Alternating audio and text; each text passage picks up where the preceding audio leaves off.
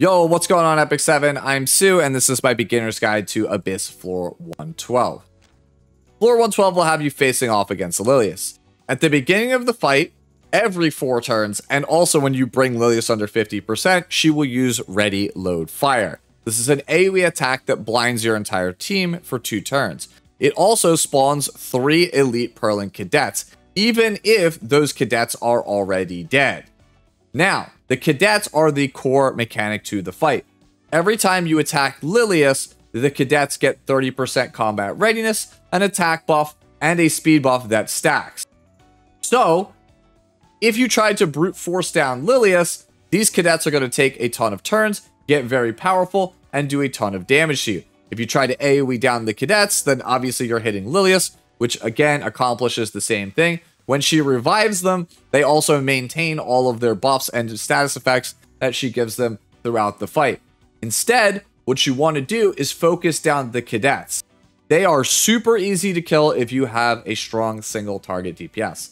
Sadly, they're going to revive throughout the fight because of ready load fire, but that's fine. Again, they're super easy to dispatch, and once they're dead, Lilias is basically a sitting duck. She is super easy. The only hard part of Abyss Floor 112, in my opinion, is the first floor, where you tackle the Elite Perlin Spearhead along with three of these gunfire cannons that spawn alongside it. At the start of the fight, lead scouts, the Spearhead passive here, grants him invincibility until you kill the rest of the cannons, right? So, kill the cannons first, then you can kill him. If you manage to attack him with, like, say, an AoE, or you voluntarily single target attack him for no damage, it will increase the combat readiness of the remaining cannons by 30%. So do keep that in mind. Again, don't really want to be playing AoE here on this floor. Additionally, he has a second passive here called Sensing Weakness. Any non-blue unit on the first floor takes 15% more damage and has their evasion decreased by 15%. When you finally kill the boss here on the first floor, you lose all of your souls, so don't bother stalling. Don't bother trying to save up the souls at all. It's just not worth it. Now, the real challenge is these three gunfire cannons. These do a lot of damage, they do AoE attacks, and they defense break, right? So the goal is to try to kill one of these in your first attack rotation, if at all possible, to make things more manageable because, again, they do a lot of damage. If you get to the point where the gunfire cannons are going to start doing their ultimates, it could wipe your team. So need single target damage dealers. They hit very, very hard. Once you burst down the cannons, just pick off the spearhead, and then it's on to Lilias, where all we have to do is just make sure that the ads never survive, never get to take a real turn, and it's over. All right, now that we know how the fight is going to go, let's talk about who we're playing.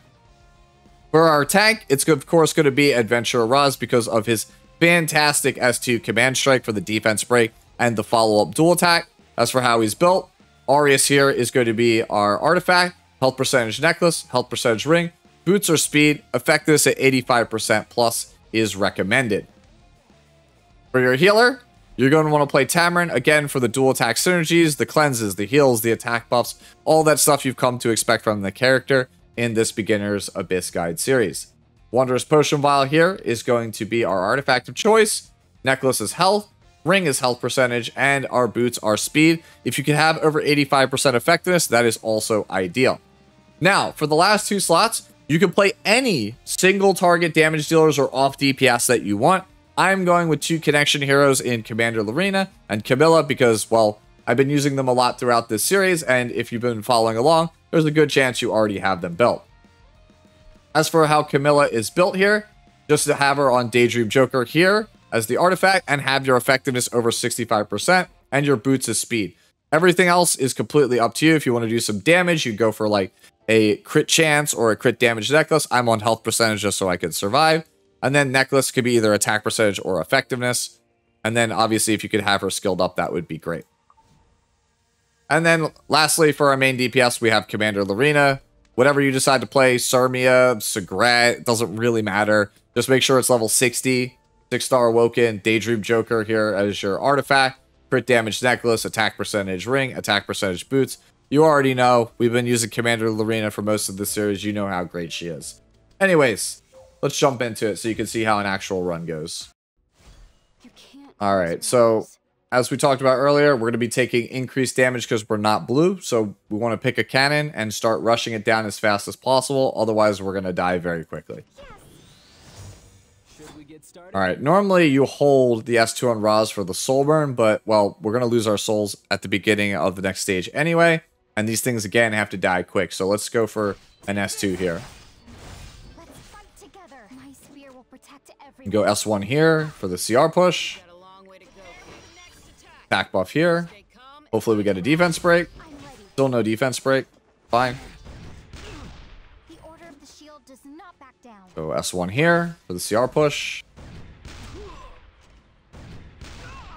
Yeah, so Ras is already at half health, and that was only from two cannon shots there. Right? Imagine if we had the third. Now, let's go S1 here.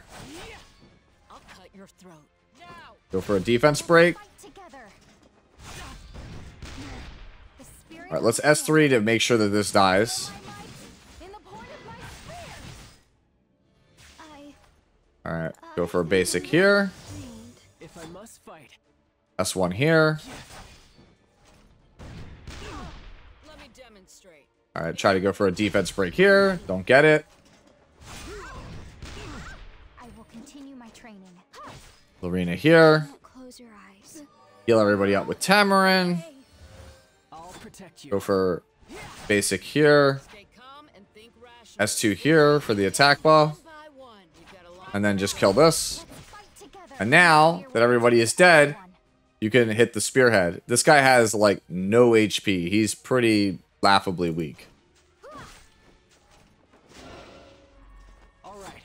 And then we could soul burn Ras just to get off the floor because again, we don't have souls.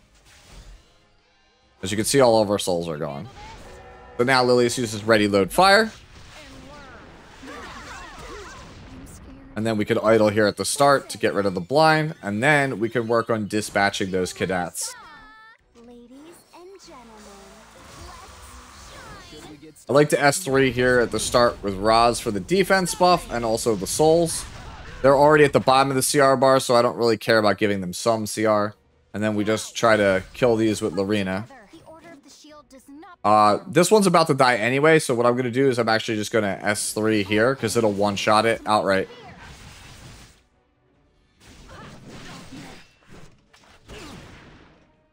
All right, same thing. We can go here, kill this one. If I must fight, this won't be. a Sadly did not, but close enough. Didn't get the uh, of a commander. Quite the damage I was hoping for. But there you go. Now all three cadets are gone. Now watch how Lilias doesn't really do anything because there's no cadets. An opening. I'm ready. I never lose. I'll do my best. Yeah. So until she uses ready load fire, she's a sitting duck. She doesn't really do anything. So we can burn for a defense break, hopefully. Nope, don't get it. Let me demonstrate. Try again. Protect We break through here for big damage. Point of my spear. You can't close your eyes.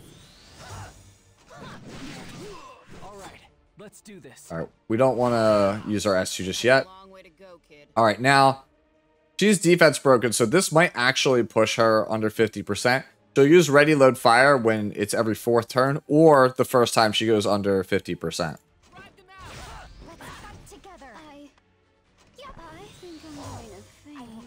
All right, there you go. There's ready load fire again. So the cadets are going to come back and we're going to be blinded again. That's fine. We could just soul burn here on. I'm. Sadly, we missed. Got it that time. Throat. Do not S2. stay calm and think rationally. See if we miss. Close your All eyes. right, so we missed uh, on the Camilla, but not the Lorena.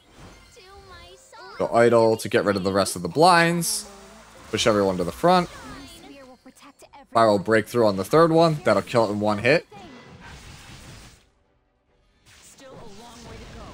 It'll give skill nullifiers. Full burn on Ras here. This will kill this one. I'm ready. This is my S1 here. And now we just fish for a Order of the shield defense break. not back down. If I I must fight. Take this! Still didn't get it. My spear will Did S3 just for the damage and the souls. my spear. Listen to me sing. Skill 2 here with Tamarinne. S1. I'm ready. The S1. And we really don't get these defense breaks, do we? What is a defense break? I'm scared. I'll cut your throat. Alright. You just S1 here, and then Lorena just S1s here, and that will be it. That's Abyss Floor 112 in a nutshell. Like I said, it's pretty easy for the most part. If you're still having trouble, though, feel free to ask questions down in the comment section below. And as always, enjoy the rest of your day, the rest of your week, and I'll see you all in Abyss Floor 113. Later now.